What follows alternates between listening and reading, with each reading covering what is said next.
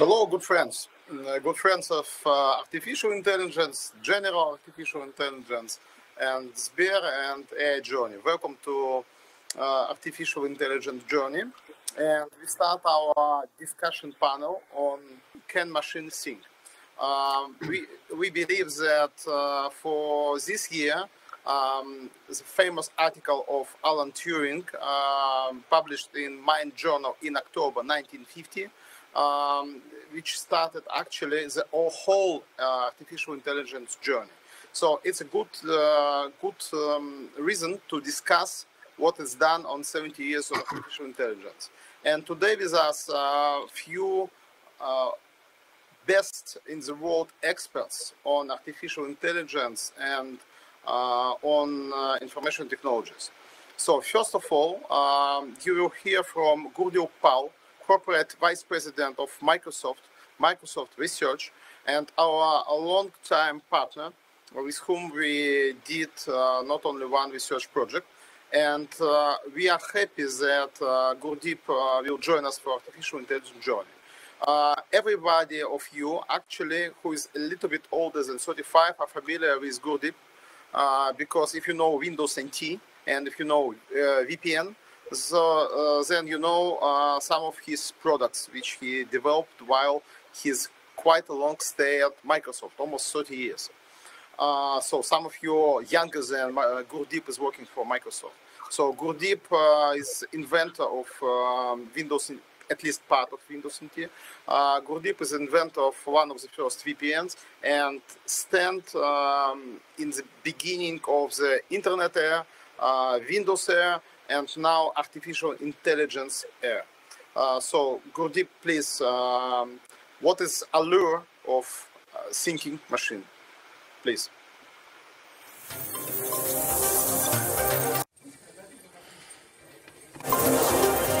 Everyone. Uh, firstly, I'd like to start by uh, thanking Albert for inviting me and giving me the opportunity to talk to you about uh, one of my favorite topics, um, which is uh, really in the artificial intelligence uh, space. Uh, I'm joining you here from the Turing Room, which is um, in the Microsoft Research Building, Microsoft campus in Seattle area. So, you know the topic of uh, thinking machines is a is a, has been a fascination uh, you know for a very long time.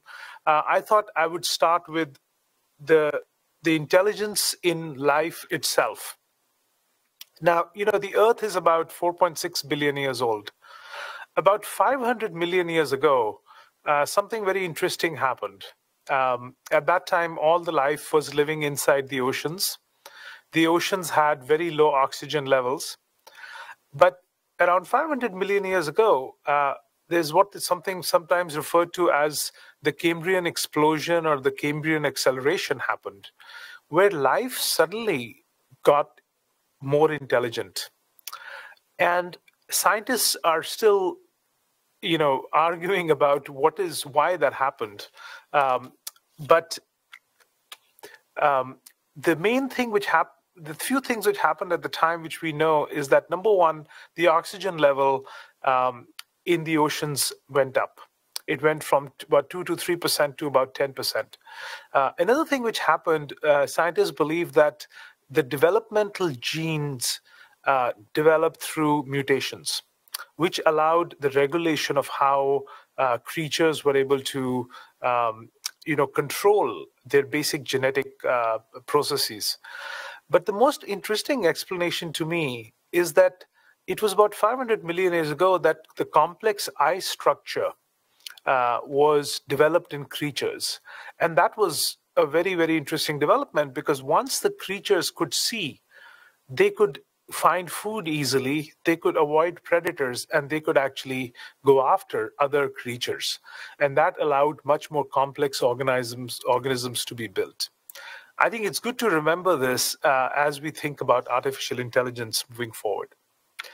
Now, after the 500 million years uh, ago, uh, the first documented idea of artificial intelligence was provided by none other than Homer himself from around 8th century BC um, 8th through 12th century BC is sort of the time when you know a lot of his writings are attributed, and he talked about in the Iliad how this uh, the lame god Hephaestus actually uh, was talking about different kinds of robots around him to help him in his life. Uh, one were these tripods with wheels. Then there were these robots which shaped like uh, like uh, uh like uh, the female form, uh, who were helping him with lots of things that Homer was what Hephaestus was trying to accomplish. After Homer's writing, um, the next significant piece of thought in the area of artificial intelligence is attributed to Ramon Lull, who was a philosopher and a thinker, uh, Catalan region of Spain. Um, Ramon Lull uh, actually came up with the idea. In fact, he had invented a kind of a seven disc rotating system where each seven discs had different kinds of concepts. And he basically said that if you, you rotate the different combinations of these discs, you can pretty much contain all the uh, ideas and concepts around you know that that humans exhibit and it was it was a very very interesting uh, you know idea um, that inspired just a lot of thinking actually centuries later you know it was you know william gottfried, uh, gottfried wilhelm uh, leibniz in the 17th century who then took that idea to create to create uh, uh, perhaps even a more developed system uh, in which he created sort of this alphabet of thought and he wanted to sort of create this computation of ideas um, and he sort of furthered that cause. You know after that of course uh, why we are uh, gathered here today uh, you know this Alan Turing's sort of seminal paper on Can Machines Think. You know, in that paper, um, Alan Turing did a couple of things. I think number one, uh, really created, really formulated uh, this how to even think about this idea of artificial intelligence by having this so-called Turing test. Uh, but also, you know, I thought the the work, his his uh, taking the different arguments and and really sort of you know playing them out. I thought that was incredible work, and it was also very telling uh, towards the end of that paper when he talks about things like telepathy and so on, um, uh, which sort of, uh, you know, he, he kind of created this sort of very open ended aspect to artificial intelligence, which I think is something that we should all keep in mind as we move forward. The last 70 years have been quite interesting in the artificial intelligence journey you know, of course, it started off with a lot of the rules-based thinking, uh, a lot of the symbolic systems uh, that that people worked with, expert systems, um, and you know, while that gave some pretty early uh, sort of off the races, uh, we found that that sort of thinking you know ran out of steam. And we ended up with this ai winter until some of the data driven approaches started to show promise but it was only in the last decade that we saw the neural nets make comeback uh, thanks to you know a lot more computing power and a lot more digitized data being available. Um, and we are starting to see some really really incredible progress in the last 10 years.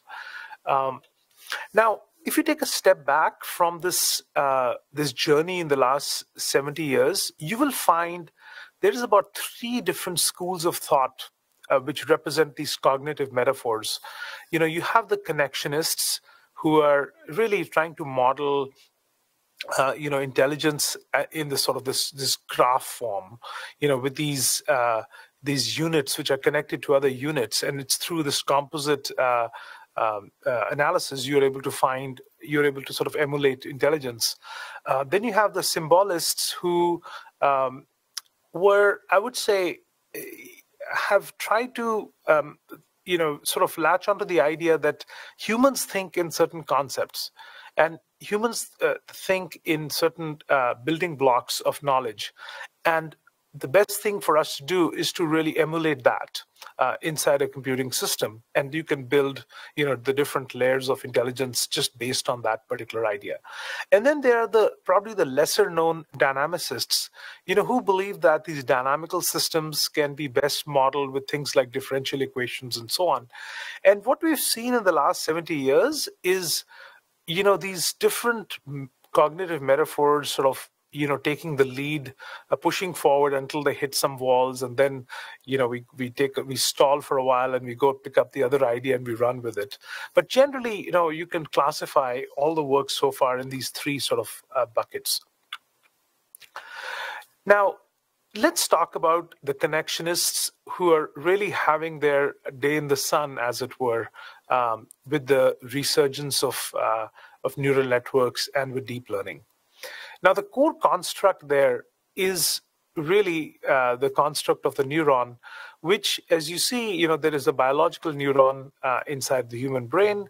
Um, so said, well, you know, how about we create an artificial neuron, which actually is very simple when it comes to sort of the mathematical operation that it does. Um, and, you know, with the activation of that particular neuron, recognizing that it has already been proven that the biological neuron is much more superior than the artificial neuron that we envision today.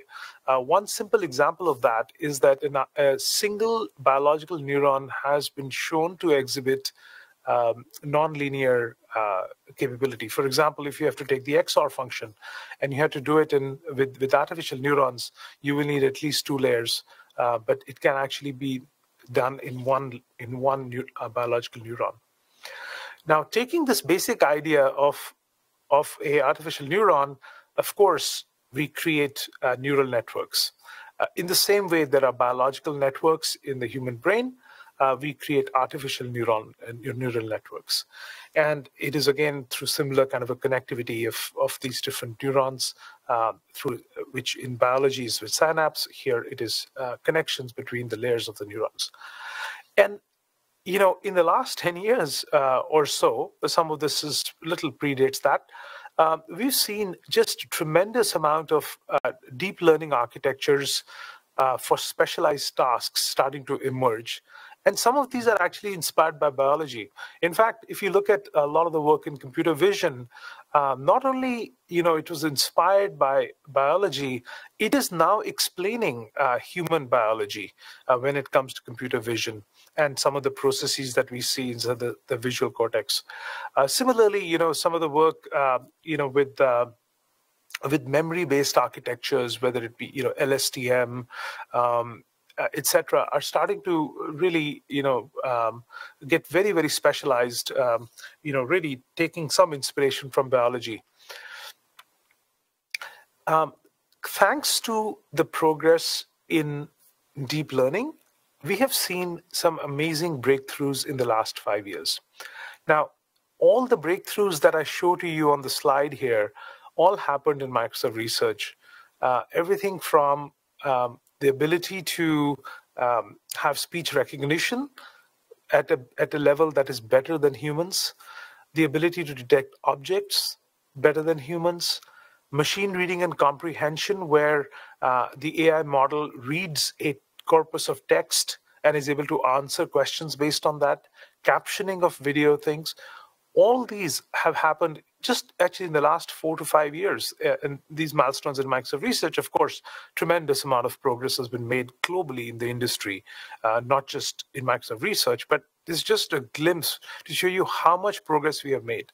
Now, none of these tests actually would qualify as a Turing test uh, by definition, because the Turing test basically, you know, said you could ask a question, you could ask uh, the the entity um, something that you know could be outside of the domain that these models are perfected for but regardless you know they, they represent significant progress but also the significant limitations of the progress that has been made so before we talk about you know some of the uh, you know the limitations i want to talk about the gpt-3 model which uh, i'm sure that you have heard about. Uh, this is the work that has been done by openai. Um, this year, um, um, you know, they announced GPT-3, which can be called the grandmaster of language models. Uh, it is a generative model using some of the transformer architectures that have been perfected.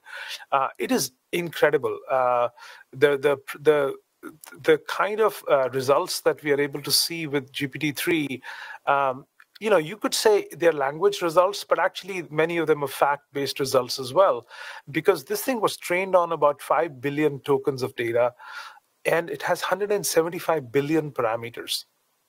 which is you know absolutely uh, incredible and you could say that you know sort of underlines the fact that the deep learning based approaches really became possible because we had this incredible amount of compute that we could bring to bear and also incredible amounts of digitized data. Uh, this GPT-3 uh, has, uh, in addition to, you know, of course, uh, you know, being able to write uh, different kinds of long form text, it is being used for many, many, many applications largely in the language domain. Uh, for example, you know, there are already applications for writing Python code. Uh, there are applications for automatically generating emails. Uh, there are applications where you know there are plugins where you can automatically fill out Excel data, um, etc., which have all been written on top of the GPT-3 model, um, which has been very, very, very impressive. I think if you have to look at the progress of AI today, you have to use this as where we are 70 years after uh, Alan Turing's paper. And so this marks probably the most significant progress. You know, we are very uh, happy to be working with OpenAI at, at Microsoft. Uh, we have a deep strategic partnership with them, and, and, a lot of this work happened on the Azure uh, platform itself. So, okay, great progress, but but we also have lots of lots of limitations. Uh, I'll talk about some of them, which I've listed here. Well, number one, you know, the amount of data required to train these models is just, I mean, it's just really, really too much uh, for us to get this level of performance. And we know that, you know, humans are able to do uh, very well without using that much data. The models themselves are opaque you know all the learning itself itself is sort of encoded in in these in these multidimensional vectors um, you know which is which no one can make sense of um, we have this problem which humans don't have which is that these models are used for training offline and then you know they're used for inference uh, when they are being used but there isn't this notion of continuous learning in most cases. Um, you know there is no semantic understanding. I'm going to talk about some examples on that. Uh, the power required to train these models is is incredible. Uh, you know, estimations on GPT-3, which I have read uh, on the on the on the web, uh, you know, take us into megawatts of power for training these uh, these models, while the human brain, you know, seems to do fine with about 20 watts of power that it sort of runs in.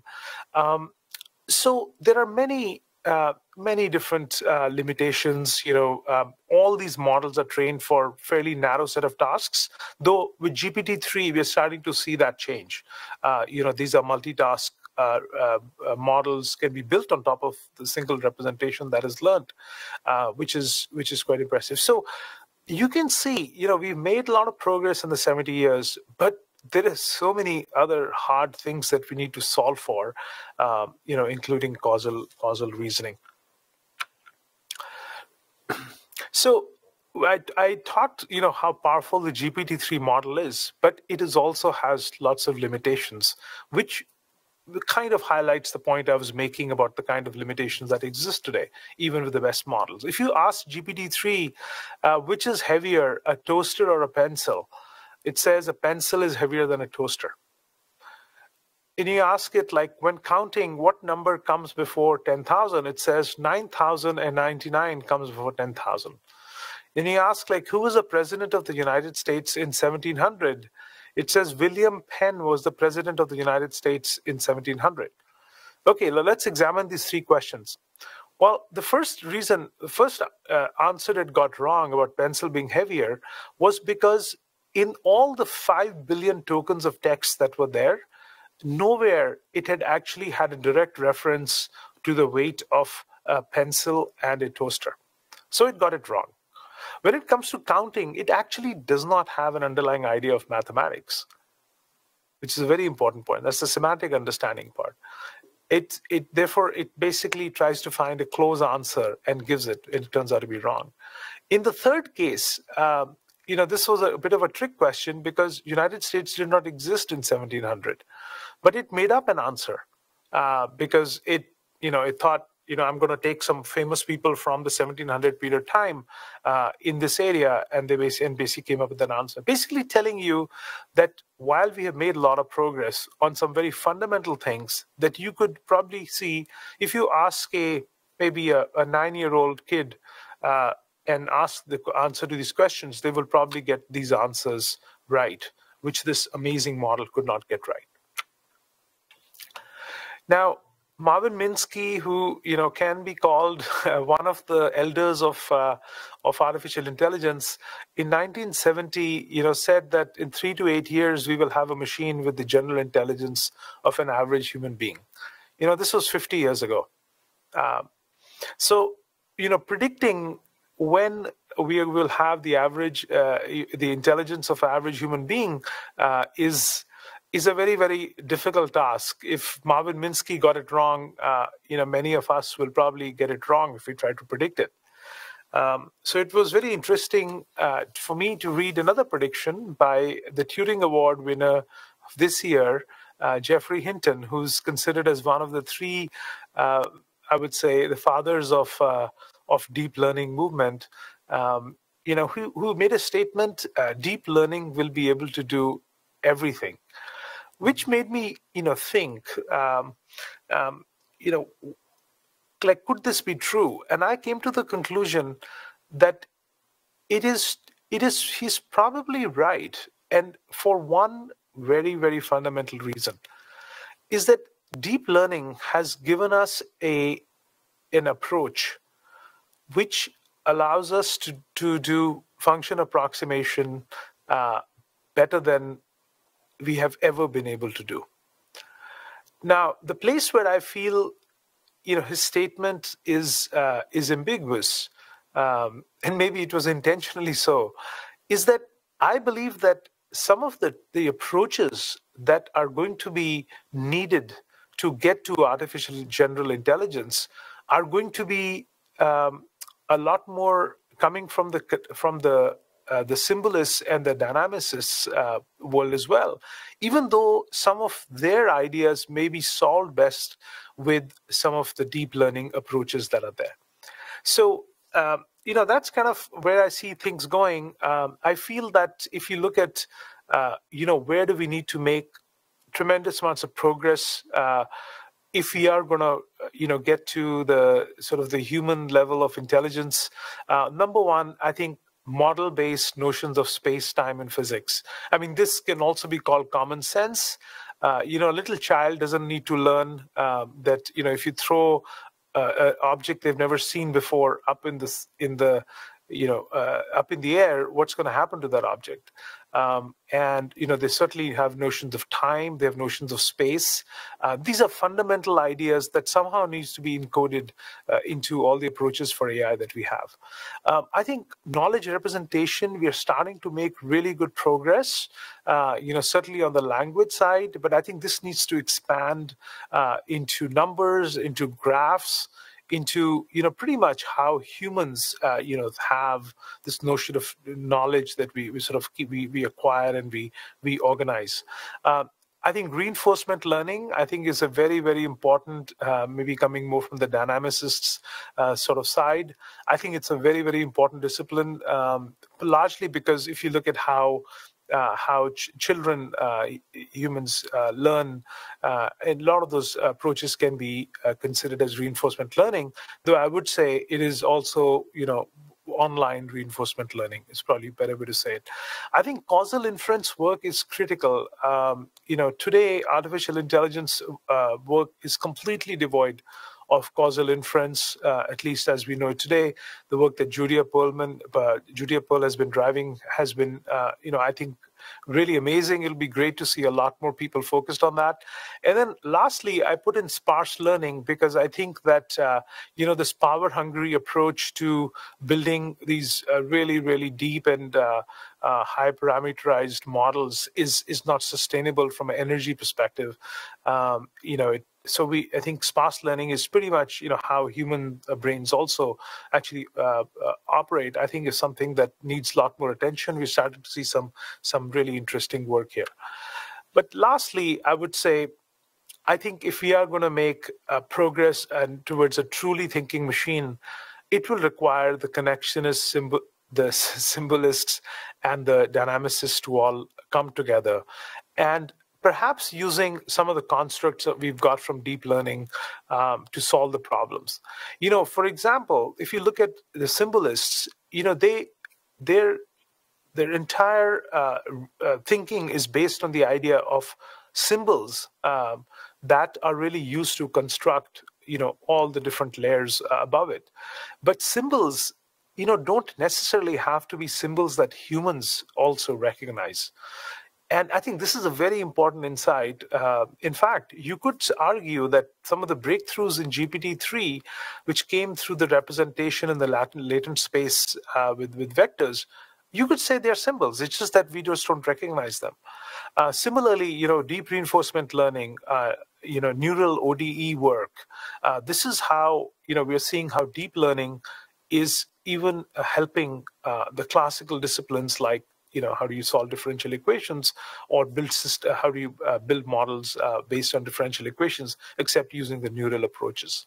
So i think this is where we are. I think if these three disciplines work together uh, we will have a truly thinking machine um, hopefully in our lifetimes. Thank you very much we keep our discussion panel uh, during 70 years of publishing Mind article. Uh, right now, uh, besides Gurdeep Pall, who is temporarily um, out of uh, connection, I would like to introduce our other guests who are joining our panel. Uh, our first guest is uh, Mr. Dr. Leonid Zhukov, who is the head of Artificial Intelligence Laboratory in Sber, and uh, well, uh, our closest collaborator on many fields of artificial intelligence, which is running here, and you can learn about activities of his laboratory, I think, everywhere at this conference. Uh, Dr. Leonid Zhukov uh, joined Sberbank quite recently from High School of Economics, where he was uh, uh, one of the head of faculties for computer science and artificial intelligence. So uh, we are very happy to welcome Leonid in um, Sber and uh, research and development uh, block for Sber. Also, today you already heard Michael Wooldridge, uh, professor from Oxford University, computer science department, head of computer science department.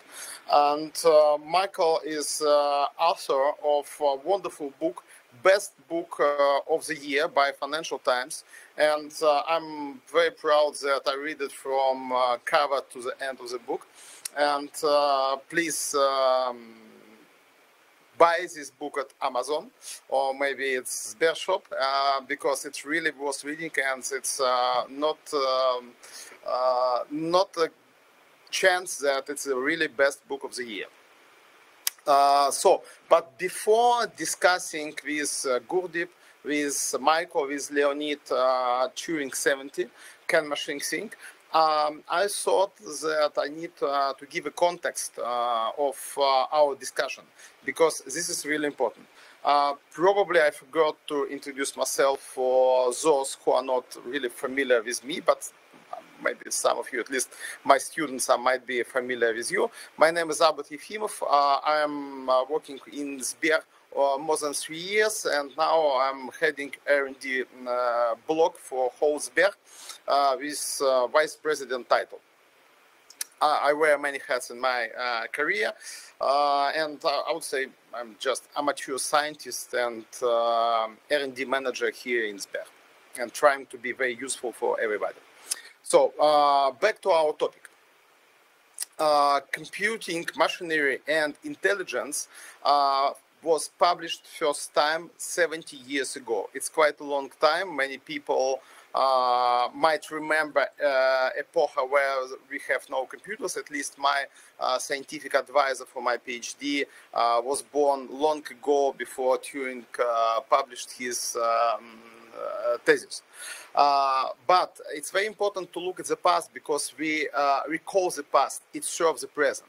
Today, it gives us fresh insights on what we sometimes overlooked and calls our attention to ideas uh, that might be missed in uh, for for some reasons. It might give us new perspectives, and that's why we are looking for uh, new ideas. 70 years passed since uh, Turing published this article in October 1950. So it really was discussing, but first of all, uh, let me remind you who was Alan Turing. He was scientific prodigy. Uh, uh, some of his uh, friends in childhood called him scientific Shelley. At the age of 14, at the age of 14, he ride the bike uh, 120 kilometers to his new school and next year, he actually published a uh, small article dedicated to Einstein theory of relativity. Uh, at the picture here, uh, the drawing here, you see uh, you see drawing by Turing mother Sarah, and it's Alan playing game, uh, but he actually gave up game and just looking at how daisies grow. And this is all Alan Turing. He always did something contradictory to others. Later on his life, he was famous for very ugly trousers. Uh, uh, it was not uh, the fashion at the time in England it was always uh, uh, trousers should be always very very uh, well ironed. And uh, Alan uh, was always uh, with wrong trousers. So everybody actually paying attention to it. But he was still very much scientific prodigy. And very early he was elected as a fellow in King's College Cambridge and uh, publish a paper uh, on computable numbers with application to Entscheidungsproblem. Uh, which is problem of computability, uh, which got attention of Alonzo Church, and he's got his PhD visit to United States to work for his PhD with Alonzo Church. He finished it, returns back to Cambridge, and actually come to Ludwig Wittgenstein to have some discussion on uh, intelligence and the foundation of mass with him. And as, as soon as uh, World War II broke, he joined government code and the Cipher School uh, as one of the leading coders, uh, code breakers there. Um, foundation of peace, uh, which we are enjoying right now, was uh, actually late at the time. it was 1940 when he traveled in France uh, uh, during the war to meet with Polish crypto team, and uh, then he established the so-called Hut 8 team, which helped actually not win the war, but to save enormous amount of lives for the fight of England and North Atlantic. Uh, in 1941, he breaks Unicode transmissions, and Bletchley Park, where he Alan Turing was working, was reading all the messages as instantly as German were typing them. In 1942, he created first automated machine to uh, read German messages, and it helped to defeat Germans in uh, North Africa. Uh, also, at that time, he visited US again and meet Claude Shannon in Bell Labs. In 1943, he works on the first in the world speech encryption system in Bell Labs and then returns to United Kingdom, where he builds world's first electronic computer, Colossus, on the premises of Bletchley Park. I advise everybody of you uh, to visit Bletchley Park, which is now a museum. It's a very very was uh, was visit.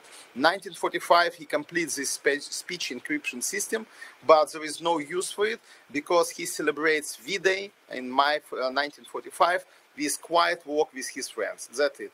And then he immediately travels to Germany to study the cryptology as well as to deliver a lecture. Um, uh, this picture shows you uh, how it looks uh, Bletchley Park at that time. Uh, it was uh, actually the uh, head of Alan Turing.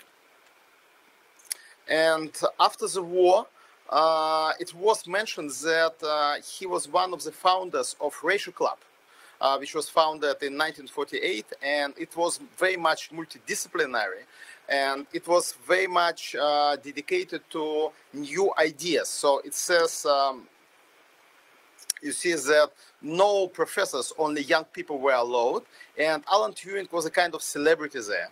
Uh, so uh, a lot of new ideas were proposed during Ratio Club uh, his days, and he actually um, many, many later ideas he developed um, there. Uh, so in 1946, he uh, started develop uh, first uh, electronic calculators in NPL lab, which is in London, uh, and also start running marathon 30 kilometers. And 1947, uh, he visit US again, meet with um, some US scientists, including von Neumann. and his meeting for, with von Neumann was actually um, laying foundation for the future study uh, of von Neumann himself uh, and von Neumann architecture.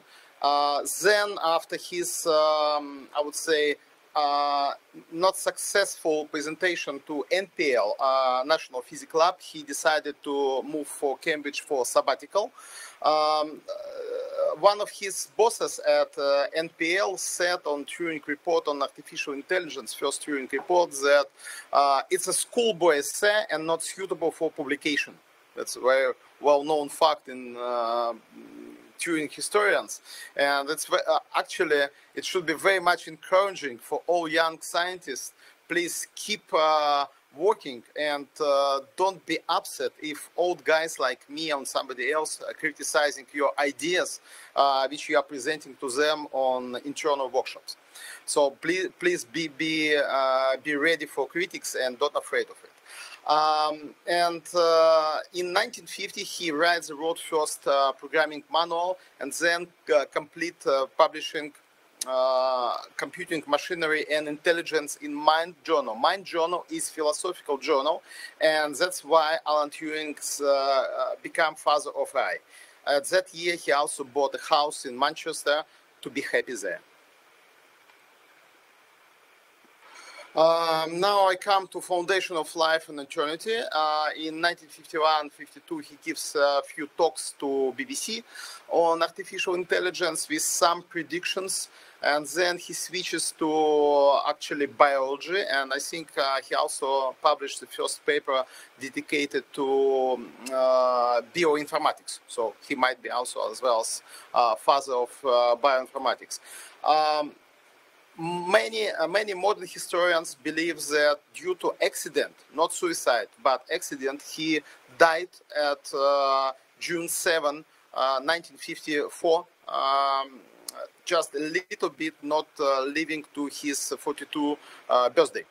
So he uh, he left no death note, and um, many people believe that it was just tragic, tragic accident.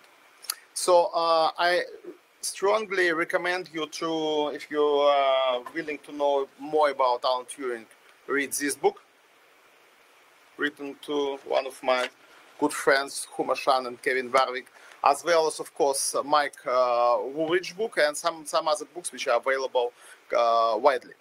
Uh, so uh, I have some some uh, further ideas, but first uh, first let me let me tell you two major thing, uh, two major ideas which um, gave us Alan Turing.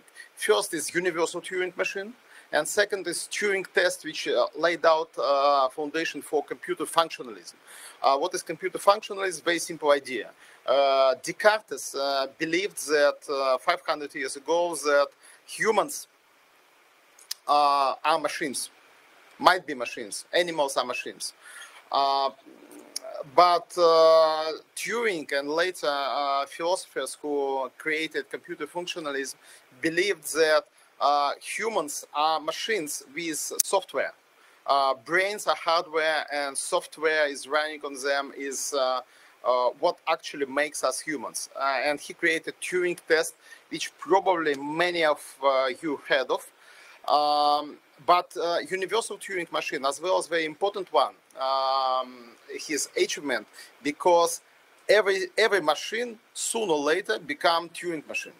It means we have emulation of uh, everything possible with that simple Turing machine, which is actually going back and forth on the um, paper, uh, print, erase, and print again. That's it very simple algorithm, very simple machine, but it can emulate everything.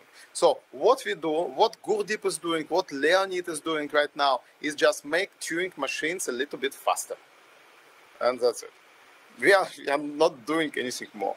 So uh, uh, going go, going back to uh, Turing test is enormously popular. It's millions of mentions on Google. Um, it's um, a foundation of imitation game uh, where we can think on can machine think comes from this. Um, but we discussed it might be um, in more detail. And uh, I don't want to spend much time on uh, some of my slides, and I go to I go to questions for our discussion, which are very important. And I see that my friend Gary Bradski uh, also joined us. So very welcome, uh, Gary, to our discussion. Um, Gary Bradski is a, uh, well, I started with uh, from past. So he's uh, one of the leading members of the team which won DARPA Grand Challenge in 2005 and then uh, sold this team to Google.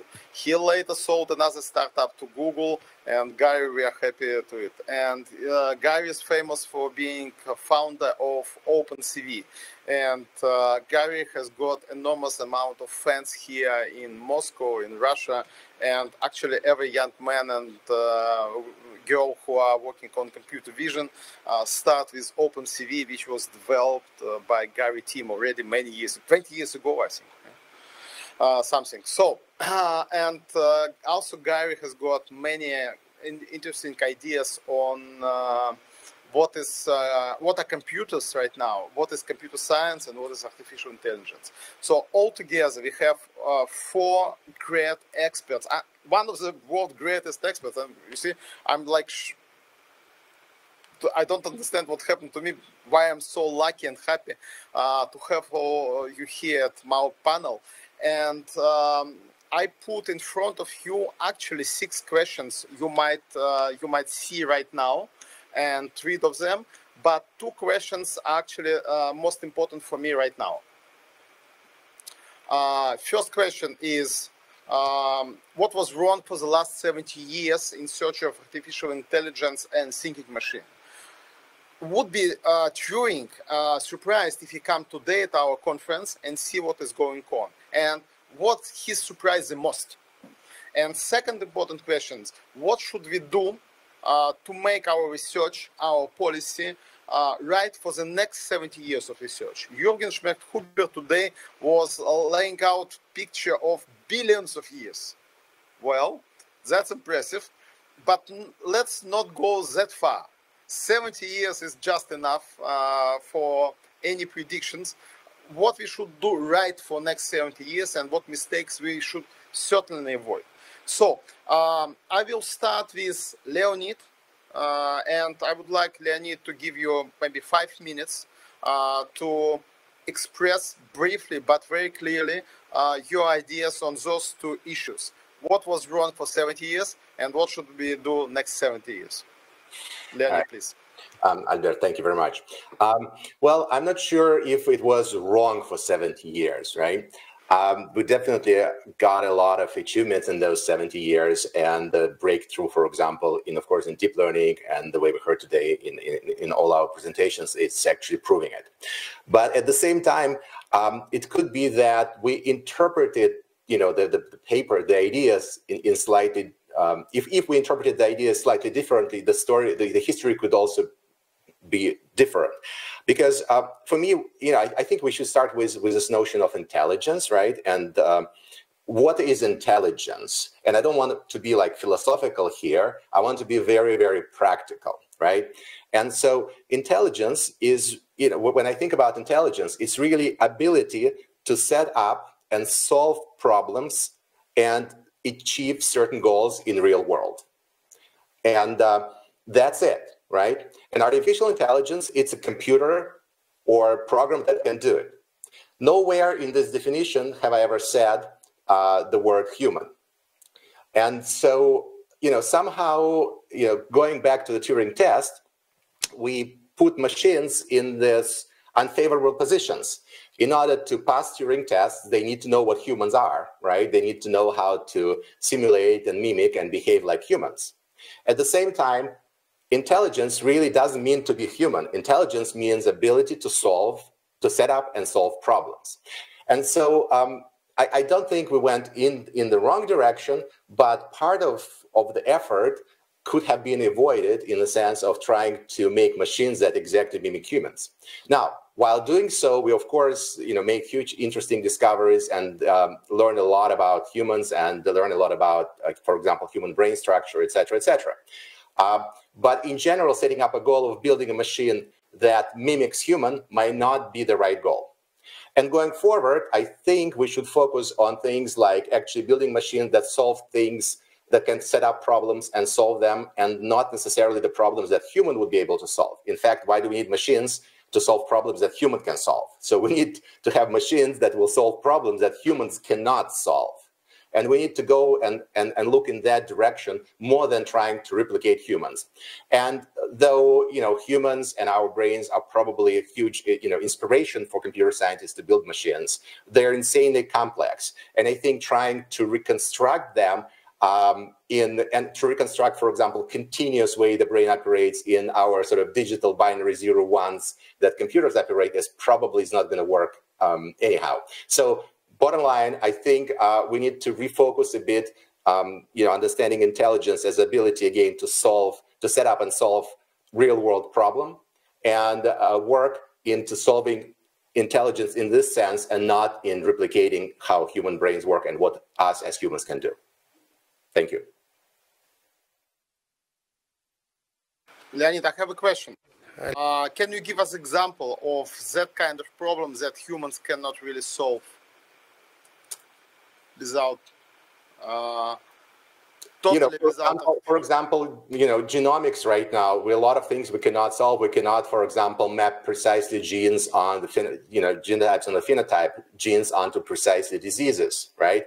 Um, you know, there it might be a reason for huge huge number of possibilities, or maybe we're approaching it in the wrong way. And I think the great advantage that could come from um, AI is being able to solve the problems in a different way that we're thinking about them. That's one thing. Another thing is, I think, and, and as, as a professor, you perfectly know that, um, you know, solving problems when it is well posed, well positioned, well specified, I mean, when you specify the problem really well, it's not that hard to solve it. It's actually hard to formulate the problem precisely that it is solvable, right? And so if machines learn how to actually formulate problems before solving them, right? That would be a huge advantage. So, and that's what AI cannot do. Like AI cannot formulate tasks for, for AI to work on. AI cannot put any uh, actually goals, and that's a big problem uh, for artificial intelligence right now because uh, goal setting, uh, aim setting, uh, target for moving forward is the biggest problem for artificial intelligence right now. I, think uh, I also wrote a paper on this too. Okay, um, do you think, Leonid, that uh, that um, DeepMind alpha something with uh, molecules might work for um, application AI in science. Do you think oh, wow. that's example of uh, what you're talking about? Well, um, it's, it's actually a very good example. You're talking about the recent, uh, you know, this, the folding example, right? When alpha when, folding, yes. Alpha folding. Um, this is actually an amazing example, and it's also, you know, I would say it's on the same level of amusement for me as you know GPT-3 when you interact with it. But the thing is, the truth is, you know, GPT-3 has no clue what it is talking about, right?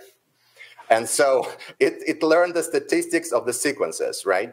And honestly, if AlphaGo, by learning the certain statistical patterns, is, you know, can you know, manage to predict um, the right protein folding that allow us to build new, new, new, for example, new medicines, that's fantastic. That's, that's, that's terrific. Does it bring us closer to like AI in terms of understanding? No. Mm -hmm. so, thank you very much. Um, so actually, Gary, uh, I would like you to join us our discussion yeah. and also to elaborate on those two things. What was wrong uh, for the last 70 years in terms of our quest for artificial intelligence? And at least I know two things. You sold two startups to Google. That's a good one. But what was wrong? Uh, and what should we write uh, to make it better? You sell another one startup to Google, maybe, and uh, something else. Okay, can you hear me? Yes, excellent. Uh, okay, so um, what was wrong? Well, uh, uh, you know, early on, we we didn't actually have a lot of compute for number one. Um, I mean, our brain has a fantastic amount of compute uh, in it, and uh, we had uh, not. We still don't. Uh, we're still not at the that level. That's like. Um, probably available anywhere, but um, is uh, uh, uh, you know we're we're getting there. So that that was one. There there was some understandings of neurology. There was also what the idea is of intelligence, what it really is. I mean, people got enamored with like logical proofs and other things, and um, this isn't really you know a, a, large part well a large part of what our intelligence is is simply survival as um, you know a simian in an environment for for whatever reason. So uh, uh, you know there were the the goal that we had set out to do was was largely wrong like logical proofs and and um, uh, we didn't have the compute to do it. We didn't have a lot of understanding.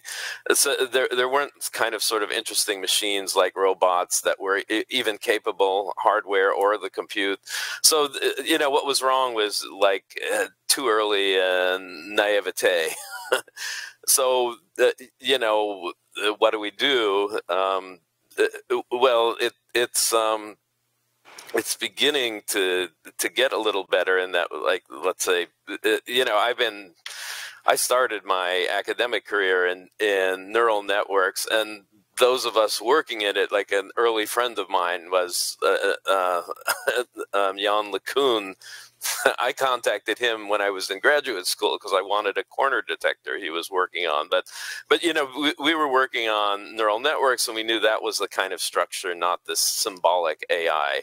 Um, so, uh, uh, you know, but but what we have right now is not. It, it, it's a fantastically useful tool, but I'd call it. it it's still um, basically a deep associator. It's not. It's not intelligence itself, and intelligence itself is is a little bit. Um, difficult to uh, define but but uh, uh you know i think there's there's um, a right now you have to understand like what a mine is and what a mine can do. And and i think there's uh, uh, you know a lot of misconceptions. There's um you know uh, can a mind live forever? It's pretty clearly no, not not in any, not in principle. Like it can, because a mind is built up off of structures, and those structures suffer a kind of decay of uh, when you. Uh, it's supposed to represent like distributions, and and and they become, you know, overloaded but but an example like I'm going to use in another talk is is um, when you're building a robot, you have to build a mind, and the, that mind explicitly or implicitly represents um, the the world and the robot. And like you're forced to do this um, every time you do it. Every time you want to make something operate in an environment, and and the very primitive ones have a very primitive model. But you know, some of them that I've worked on, let's say, a Stanley, which is a simple example. What it did is it it had um, sensing in uh, the, the it had various modes of sensing, lasers, GPS, wheel odometry, whatever, um, in an environment, and it it it it, it and, and vision, and it fused all this information into a world map and then it, it knew the direction of gravity. And in that little world map, so it had this model of itself. It, it had the world, and the world was very simple. It was bad things, good things, and things I don't know at a tilt. and then it ran that in a physics simulator. And like how, it, and, and, and so another thing people don't understand is that we aren't our intelligence we're our emotions. Those are what drive you not uh, you know your intelligence is a how. Uh, what is always by your emotions. So so if you love like computers uh, given a certain intellectual level, you're going to become very good at computers if that if that's what you really love. And and so Stanley's emotion system was GPS waypoints. That's what drove it. It wanted to get from one to another safely, and and so that was its entire mind. Its mind formed a world of bad, bad, good, and I don't know on a uh, you know, on a tilt, and it knew where it wanted to go next and next and next, and it simulated itself going there, and then it, it would actually take that step in the real world. We're very much like that. You see your simulation um, when you're asleep, which I just was, and uh, you know, and I, I like to say when you wake up, your dreams don't stop they they just connect to a data source, which is the world. But you look look at Stanley's mind, and and and this is all mind, so it's a very simple mind. But um, what can it understand? All it understands is kind of like bad, good, don't know, um, you know, direction of world. Well, if if you wanted to explain I, I, you know, maybe it's Dostoevsky, um, uh, uh, you know, Crime and Punishment. You know what uh, uh this the person takes a very a rash move. Well, a rash move to Stanley, if you wanted to explain this, Stanley the robot, a rash move would be cutting across the I don't know land to take a shortcut to the, to, you know, not go the long way around, but jump to a further waypoint. Well, that's a, a rash move. And so you could explain Dostoevsky, you know, crime and punishment to the robot, but not really. Its brain cannot um, understand this because it's not rich enough. Well, to rounding error, that's us. so we will never understand the world uh, uh, uh, under this theory, but we, we can create these self-operating agents who have a certain level and can do certain things. In the same way, if you have your cat, it will never understand. Um, you know, you play it Dostoevsky, it will never understand it because it doesn't have. But if you could talk its language, you could say, well, it's like a kitten that doesn't listen to its mother and it's going to get in trouble. And then the cat will say, I understand. You go, no, you don't. we're the same. Like to rounding error, we're the same. We'll never understand the world all we get is a model of the world and that model is a causal model that like stanley that allows us stanley needed to drive across the desert. We need to operate in a social simulation. We will never understand the world and physics. There'll be no final theories because we don't even see the what needs to have a theory of it. We have none of that circuitry. And uh, you know so we can create these machines. When we we can create a machine that has this interior model that socially simulates and it will become conscious and aware. And it might be more powerful us and we can say well what's the real structure or meaning of the universe? And it will say well it's it's like um, a kitten that's going in danger right? We we won't be able to understand what it understands after a certain level. Uh, I, I, totally agree with the last point. We will not be able to understand the machine, conscious machine, if uh, they will ever be conscious. Uh, at that point, um, I would like probably to return to one of my slides which I um, prepared for our talk. Uh, please uh, bring up uh, this slide which I uh, selected. I don't know if you see it. Can you? Um, the Turing continuum. Yes, Turing continuum. So uh, I actually thought about it uh, for a while, and um, I, I, I think that Turing continuum consists of uh, uh Turing himself um, was uh, working on very noble things like solving mathematical tasks. And by the way, our our listeners, our viewers, please uh, get QR code and answer my question going back to Turing, um, uh, Turing continuum is from virtual world to physical world and from non-verbal interaction to verbal interaction. And Turing was concentrating on the left upper corner of this, with this noble task of solving mathematical tasks, cryptography, talking, playing chess, learning languages, whatever gentlemen are um, doing. But uh, he gave no attention to the physical world because he considered it too complicated for realizing in robotics. And I think that um, what what I heard in Gurdeep talk before, and what I heard right now in Gary talk, uh, that uh, physical world and interaction with physical world in a verbal and non-verbal way is might hold the key uh, to creating thinking machine. Uh, it's uh, maybe an arguable position, and uh, of course you can argue with this. But Gary, I would like a little bit you to elaborate on very briefly, but very clearly please excuse us that late night in the United States.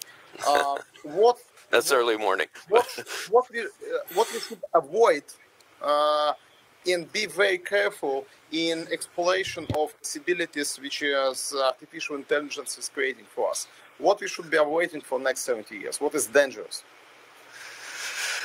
Uh, in, I, I think what's dangerous is not going fast enough with AI. I think um, human humanity's um, well, humanity's existence depends on uh, the survival depends on getting these techniques fast for design and and um, whatever. I, I, am not one of these that that's worried about that AI is going to kill us. I'm worried on the other side that we're not doing it fast enough. Um, also, I'm not worried that if AI that AI will kill us. We're a technology. The, the primary thing of our species is we create technologies. If that's not stable and survivable, so what? Then we die that was what nature intended because that's what we do uh, and yet like we can't we can't shy back from this we have to accelerate it um, in my view and I'm, I'm not really worried also if ai turns on us and decides to destroy us well then we succeeded right? We created another species that can live without us. Um, you know that'll be our greatest day. Um, uh, so i'm on the total opposite side of this. Like we should be applying much more efforts and funding and acceleration and just go uh, go all out. Uh, you know we need the robots. The human labor is failing around the world. It's not there's not a population problem. There's an underpopulation problem that's rapidly going to hit us I mean, yeah, it's going to hit. yeah, it's it's going to hit us like a freight train, and we need we need the labor, we need the AI's ability to solve environmental problems, uh, global warming problems, energy problems. Like we just cannot go fast enough. Thank you very much, Gary. Yep. Um, okay, uh, I'm going. Uh, please bring us my slide with uh, Turing Continuum. Is it possible? Uh, that for me to bring it up. Yeah, uh, yeah, yeah, yeah. Uh, it's, it's already. Uh, I, I, I have it. it no, no, no, Gary, it's it's all right. So thank you very much, Gary. Yep. Um, uh, and uh, Turing Continuum also allows us to do one thing. It's uh, uh I sought out all possible Turing tests uh, around this Turing Continuum, and you can see that uh, all Turing tests which created for the last 70 years are uh, grouped in uh, upper left corner and almost nothing in physical world and non-verbal interaction, which is also very important uh, because uh, dark matter of culture is what is our, uh, I would say, non-verbal interaction might be as important as verbal interaction, chatbots, and um, some some other things. Um, also, please uh, take some time to to answer my question. So, um, and I would like to go to Gurdeep Pall. Uh, Gurdeep, uh, I listened to your presentation. Uh, I, as careful as I could uh, in terms of, the, uh, I'm also one of organizers of my AI journey. Uh, and I know that Microsoft is betting on GPT-3. It's good to know that. Uh, but that's we also know for sure, and uh, I think uh, Gary mentioned it a little bit, that uh, GPT-3 is at least not energy efficient, as well as all other frameworks uh, in terms of, um, I would say, chatbots, um, computer vision. So my mind right now is consuming only 25 watts of energy and I'm extremely, I'm not that smart as GPT-3 maybe, but I'm extremely energy efficient. So uh, for today, I have only one cup of coffee, and it's just enough for me to run whole day. And robots need a battery uh, replaced maybe uh, eight hours, at least in our Sberbank mobile robots uh, need robot uh, battery replaced quite often. So, um, Gurdeep, uh, do you think that uh, this bottleneck, energy bottleneck, is a very serious bottleneck for the next uh, 70 years of development artificial intelligence? Um, those GPT-13 will be ever be energy efficient as human. And of course, you can also help us to elaborate what was wrong for the last 70 years. So, uh, please. Great. So, um, you know, I was uh, uh, thinking about your question about the last 70 years, and, you know, I would say that, you know, humans are very resourceful creatures. And we approached after you know the Alan Turing uh, famous paper, we approached artificial intelligence in a very resourceful manner as well. Now, you know what I mean by that is that you know we we basically immediately looked at the problem and said, you know, we understand logic, we understand rules, so we took you know that bit and we ran with it. And then we realized, well, we can only get this far with artificial intelligence with this sort of rules based approach. Then, you know, things sort of quietened down. And then we realized, well, we know math pretty well. So let's start using, you know, some of these math based techniques, you know, k nearest neighbor, some of the clustering uh, approaches, and you know, sort of this classic data-driven ma- uh, machine learning uh, came about.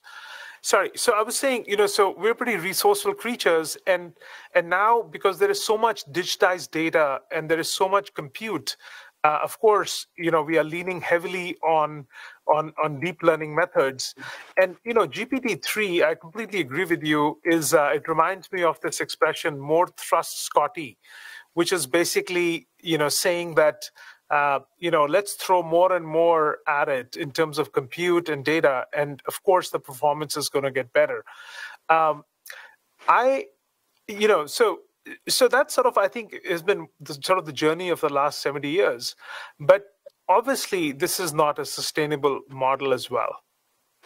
And i think that uh, if there is one thing i would look at sort of critically in the last 70 years is that you know we tend to get obsessed in the community with one method or the other.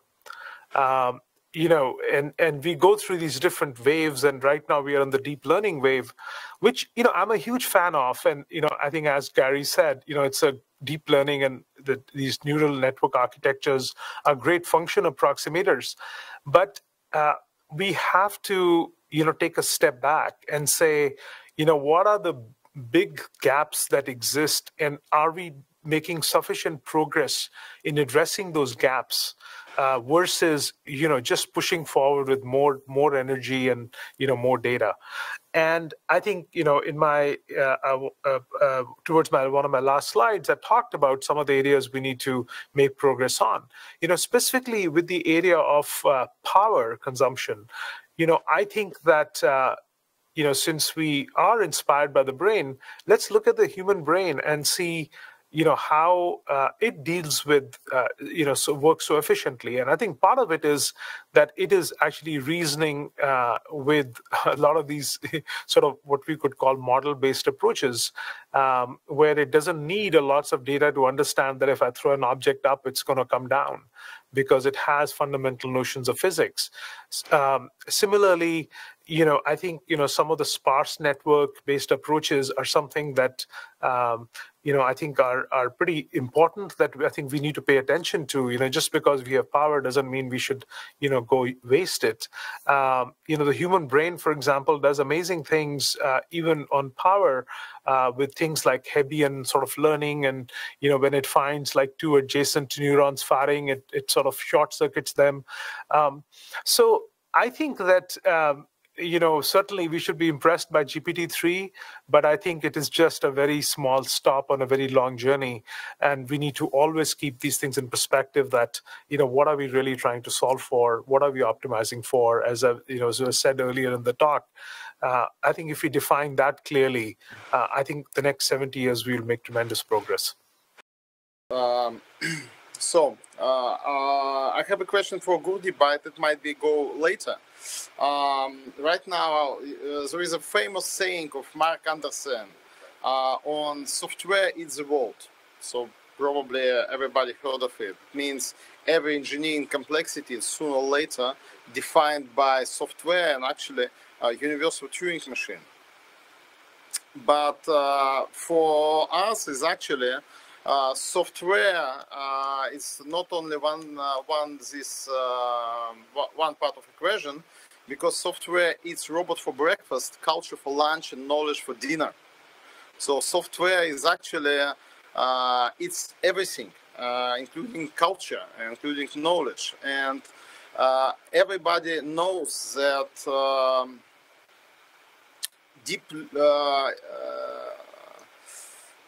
Kasparov lost to computer uh, in 1997. Um, and it was kind of beginning of victories uh, for computers and artificial intelligence in board games. Even they, they were playing board games a little bit earlier. But in 1997, it was not a computer who was playing against Kasparov. It was the chess culture, which was accumulated in that uh, IBM computer, uh, who was playing again against uh, Kasparov. And uh, in, 19, in 2018, it was Go culture rules of Go are matches which AlphaGo Zero playing, played against each other, which were was uh, kind of uh, playing against Lee Sedol. So, um, and uh, I believe that um, we have uh, time when our artificial intelligence systems can just accumulate our culture, make huge, uh, huge storage of everything we say, everything we do, and then uh, sort it out, and then make a response, a response uh, and answer our questions based on the whole humanity history. Uh, so um, now I'm going to you, Michael. And uh, actually, uh, I remember something similar in your book, uh, which you wrote on limits of artificial intelligence right now. Uh, but uh, not going to your book, but going to uh, my two original questions, I would like to say what was wrong for the last 70 years? By the way, what is the distance between Oxford and Cambridge? About 60 miles. 60 miles. Well, that's the, phys- the physical distance. The emotional yes. distance is far, far greater than that. Yeah, I, understand very well this. Uh, um, uh, by the way, about emotional distance, I have the same uh, situation in Scotland where I graduated, and uh, we said we usually say that uh, funerals in Glasgow a lot of marriages than Edinburgh marriage. So yes, emotional distance might be more, but uh, it, uh, I, I, saw that Alan Turing was running distance something like 15 miles almost every week. So it's uh, um, maybe a quarter or something of uh, distance between Cambridge and Oxford. Uh, you are from Oxford, and um, Alan Turing was from Cambridge. So this emotional distance between uh, two schools are actually quite quite important right now. Uh, but uh, going back to the question, what was wrong um, for the last 70 years, except the fact that Alan Turing from from, from Cambridge? wrong? Uh, So I think there's a, there's a couple of things, and I think uh, my answer will resonate with what Gary said and uh, and, and, and and others uh, uh, today. So the first thing is, I think there's an obsession in AI historically with discovering one idea and thinking that one idea, that one technique, is going to be a magic ingredient which takes you all the way. And so, as as as as you said, uh, Albert, as as Gary said, I mean, for a long time it was the idea that knowledge, knowledge representation, we just right, we need the right way to find human human knowledge and to write that down. And if we can just give that to machines, um, then that will take us all the way. So, I mean, there was a famous experiment, the Cyc experiment, where they tried to code up the entirety of human consensus knowledge. And the idea was if you could give that to a machine, then, you know, AI would, would be solved. So it's that idea that there's one kind of one single technique. You know, we have one advance and wow, this is it. This is the magic ingredient. And that's going to take us all the way. And it doesn't, right? I mean, it just doesn't. Um, and I guess I'm I'm very I'm hugely impressed as I'm impressed as anybody is by the current advances in AI, the things that are going on in deep learning. These are real and they're cause for excitement. I mean, I think they are real advances, but they are narrow advances and they are ingredients, but they're not the whole ingredient. They're not going to take us the entirety of the way to um, to artificial intelligence. So I think that's the first thing. That's the first lesson, right? Don't imagine that there's one single ingredient which is going to take you all the way. Um, second, I think this is quite interesting. The examples we've seen, and the example on your slide, things like chess and Go. Those why why do AI researchers study problems like chess and Go and proving mathematical theorems? They do it because those are the things that they regard as requiring intelligence, as requiring genius, right? Those, you know, being a good mathematician is something that, you know, lots of computer scientists aspire to be. So they look at those problems and they say, well, if we can solve, you know, if we can prove mathematical theorems with a computer, then we must have solved the intelligence problem.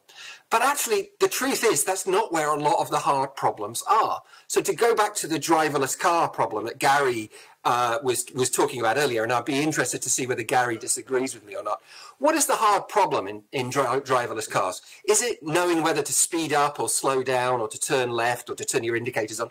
No, I don't think so. The problems with driverless cars are knowing where you are and what's around you, what's going on in your environment right? All of the problems that my guess anyway is that Gary and his team had to solve back in 2005 were to do with perceiving your environment. If you have all that information, then knowing whether to speed up or slow down and so on is going to be is going to be easy. Actually, that's that part of it. I think is a relatively straightforward and conventional bit of computer code.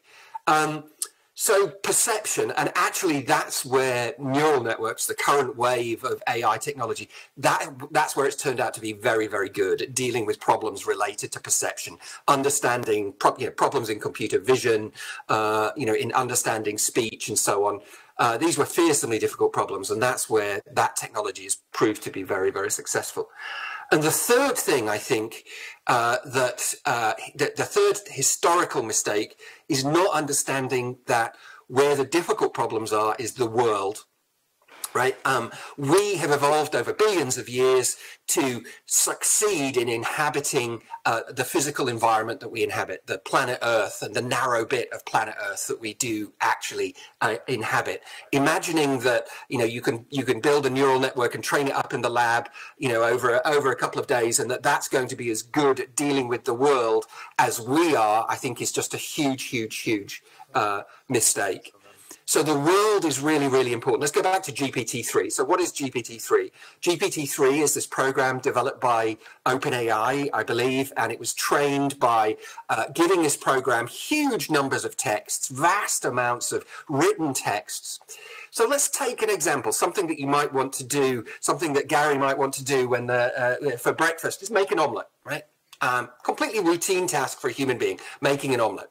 So GPT-3 has read every omelette recipe that's ever been written, right? It's there's no recipe for an omelette out there. It's written every, it's read every essay about omelets. It's probably read books about omelets. So in terms of just knowledge, it must surely have all the knowledge about uh, about omelets that there exists in the world.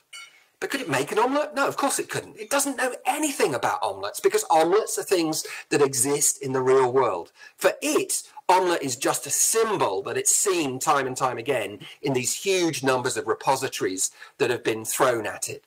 None of that knowledge that is coded into GPT-3, none of that stuff is actually grounded uh, in any experience of the world that we all have.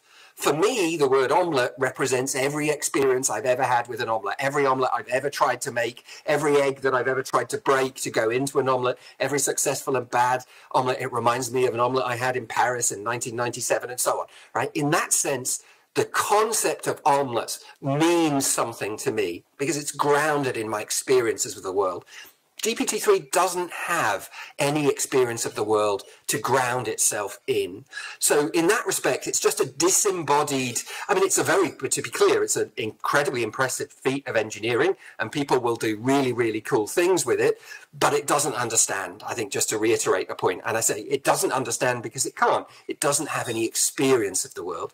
So those are the three things I think where, you know, this obsessing on one idea and imagining that there's one single technique which is going to take you to kind of the holy grail of AI, that's a mistake.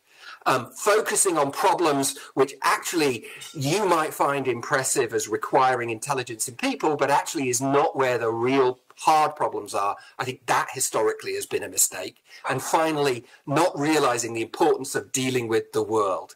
You know, experience, human experience, human knowledge, everything about the human condition is grounded in our experiences uh, in the human world. And I think to if we ever succeed in building machines that are self-aware and conscious and sentient and all of those things, machines that have understanding, then that understanding will have to be grounded in the world in the same way.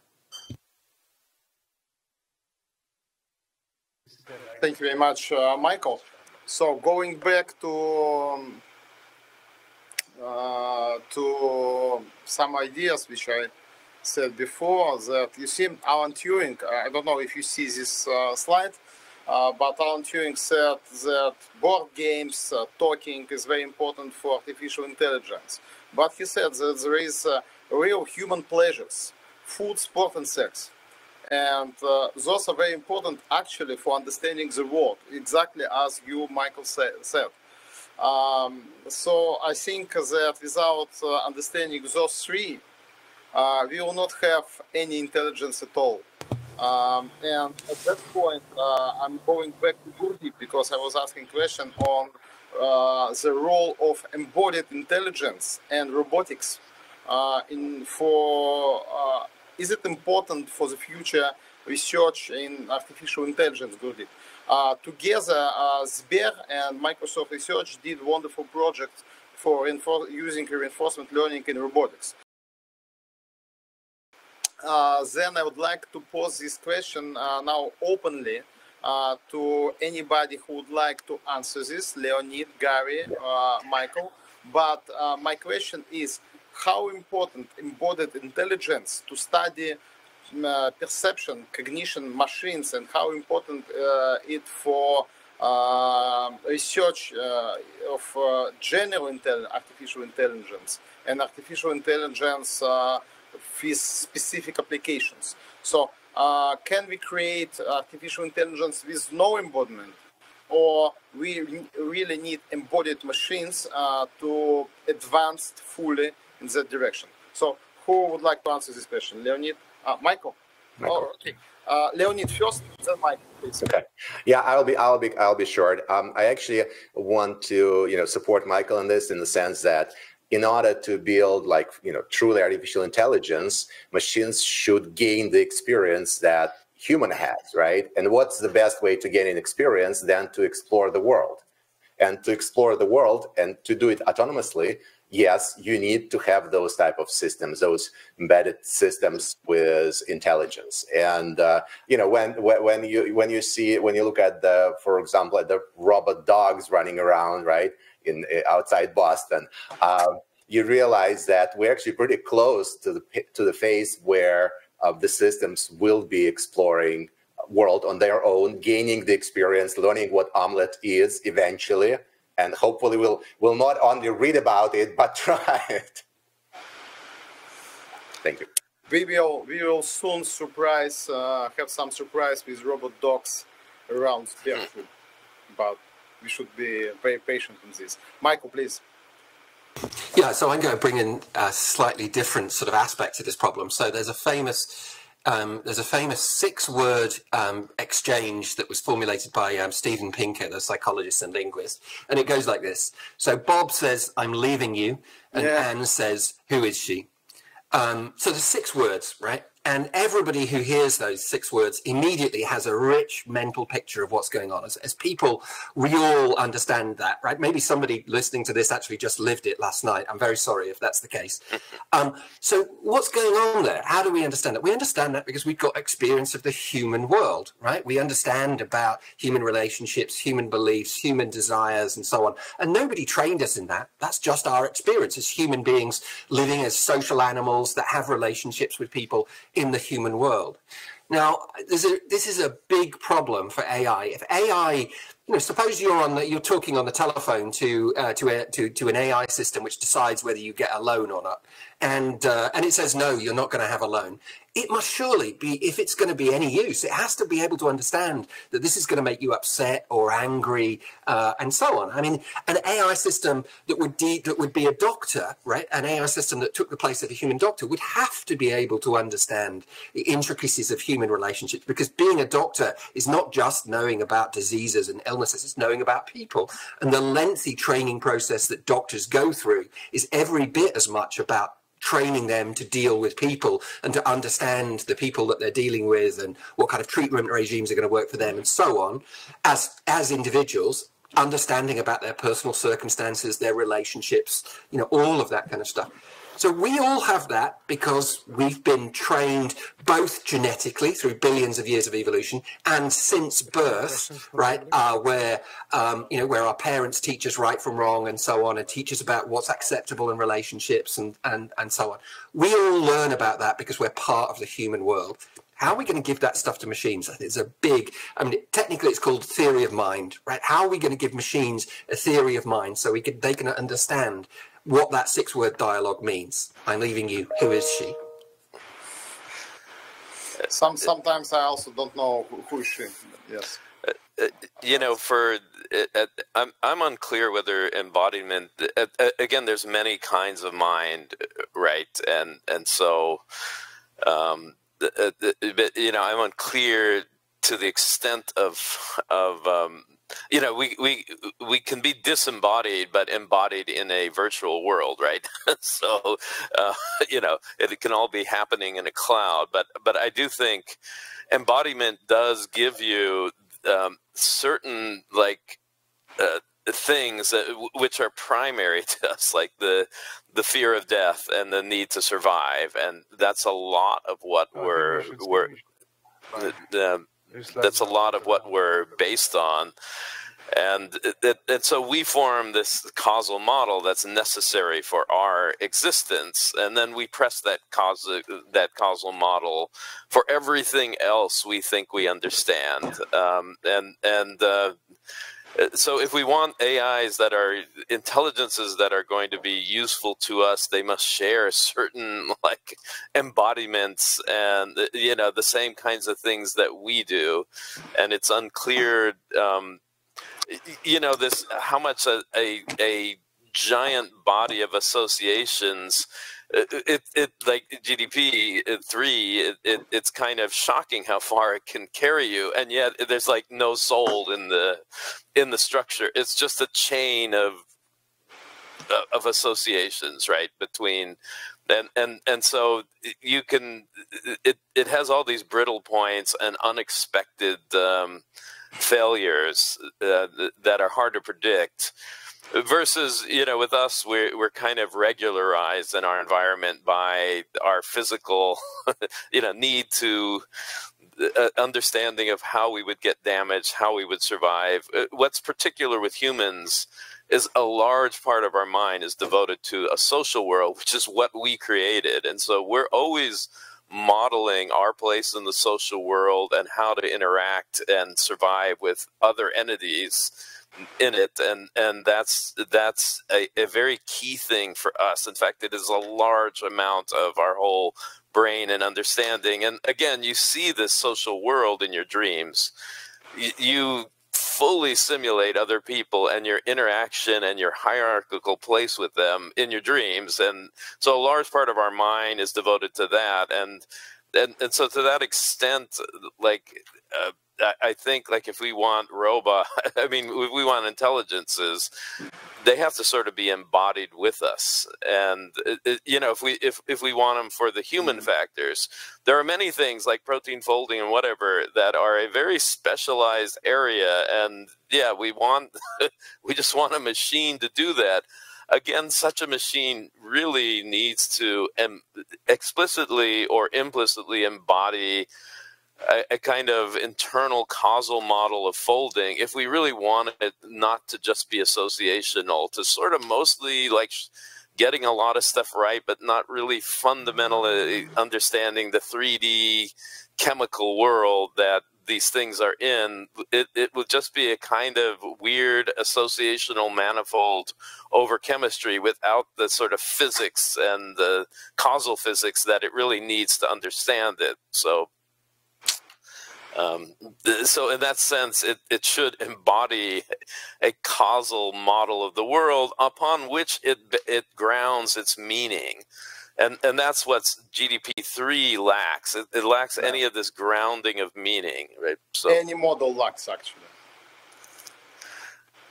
Yes, but but but uh, you know, it, it's not that the problem isn't that models lack this. It's that you you want a model that spans your space because we're always going to lack. Like there is no super intelligence that that can know everything and every aspect. It's always going to be grounded to a causal situation. And when you try to go too far out of that it's just going to break. It won't you won't be able to expand this mind indefinitely.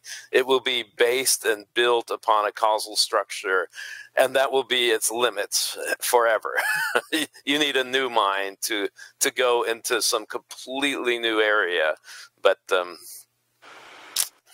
I could write books about this, but yes, please do.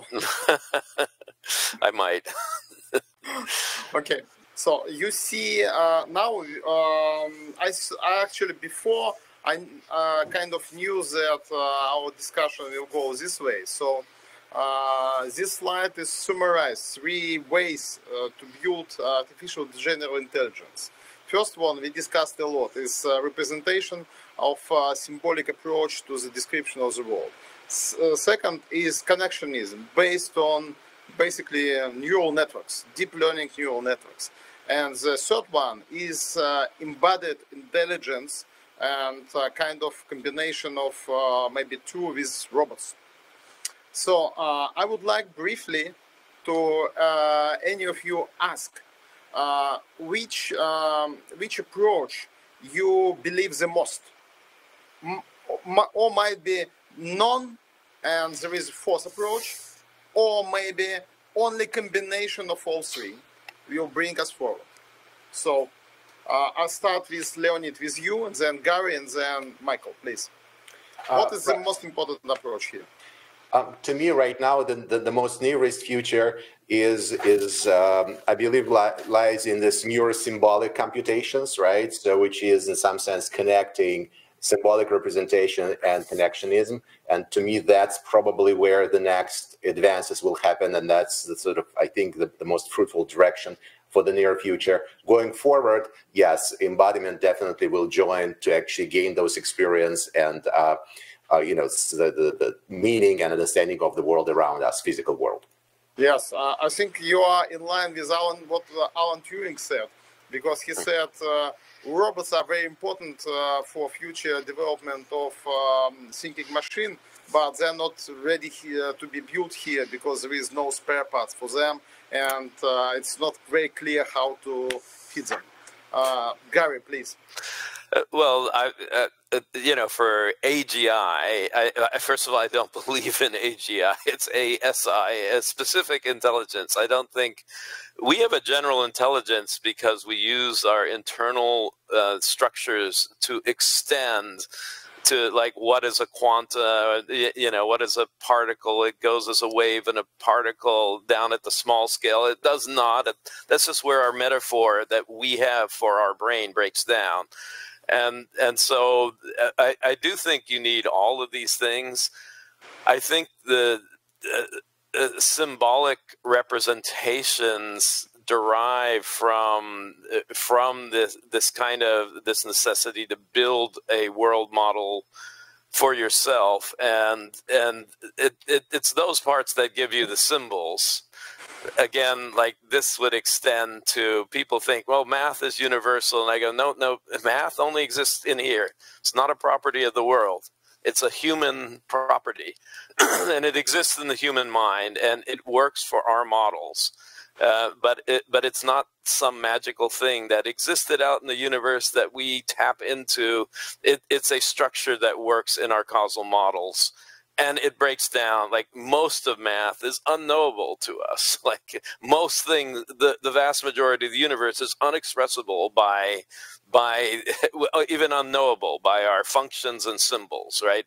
But causally at our scale, at our time, um, we have a, a, very flexible model that can extend. So, uh, you know, the quick answer is we need all these things, and it, they'll always be uh, relative to the job we want it to solve. So, uh, to achieve artificial specific intelligence, you know, that can be do very general tasks, but there's no such thing as this universal intelligence. It's always in terms of learn grounded models, in my opinion. Thank you very much, Gary. Uh, Michael, please. Yeah, so like Gary, I am a skeptic about AGI, and I don't see anything on the table at the moment which is which is going to take us to uh, to AGI. I think all of those things are important. Uh, uh, connectionism, symbolic representations. I mean, I think it's pretty widely accepted now that um, symbolic approaches and connectionism, I think, need to talk to each other. Um, I don't think the symbolic approaches that were popular 30 years ago are likely to be the way forward. So I don't think that's going to be it. But there will be some form of um, symbolic reasoning that's that's that's got to go on. And I think what I would say is uh, the reason I'm skeptic about AGI is that.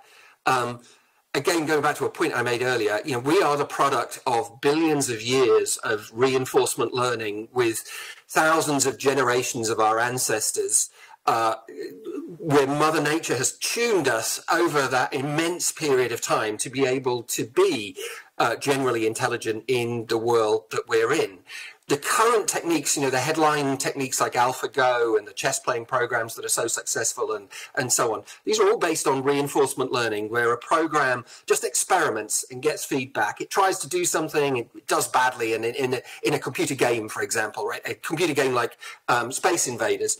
Um, so you, you, can have a program which learns to play the game of Space Invaders, but actually it does that by just essentially starting by moving randomly, seeing what works and what doesn't work. And when something works, when it gets a good score, it does that again. That's reinforcement learning. It's just, just over time playing and playing and playing it.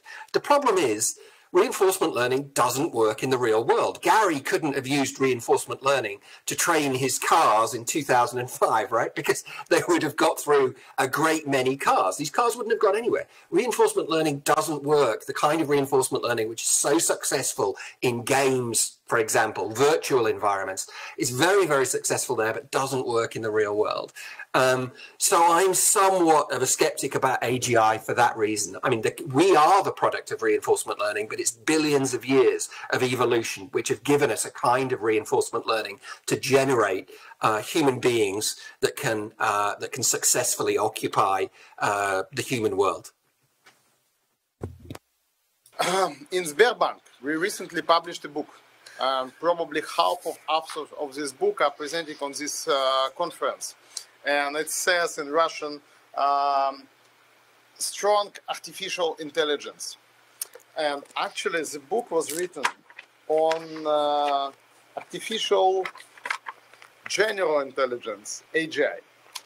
Um, well, not, not, not to go deep into the story, but uh, we uh, here we are actually putting a lot of efforts in uh, understanding how to advance science uh, further on.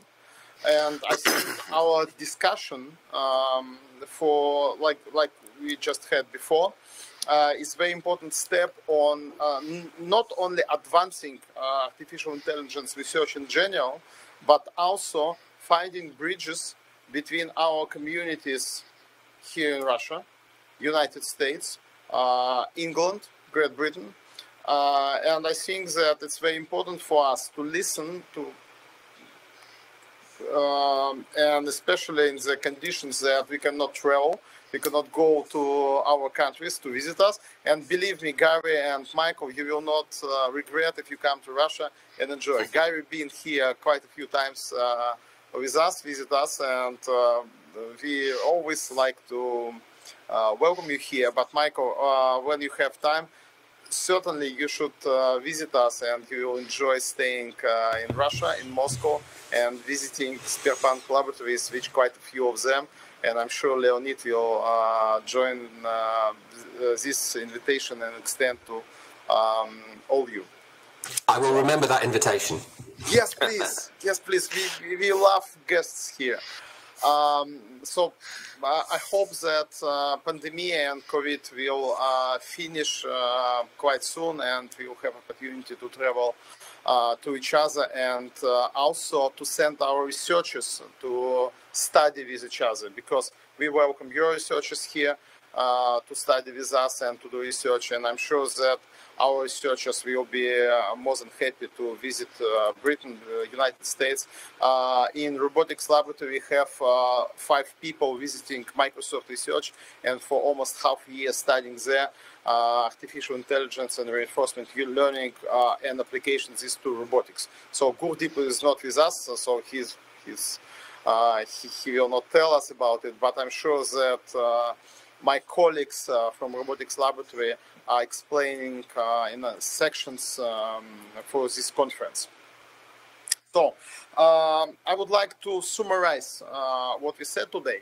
And uh, the general idea which we just discussed is that um, we need all three approaches for building artificial general intelligence, strong artificial intelligence, symbolic approach, connectionism approach, embodied approach, but the phases of this might be different.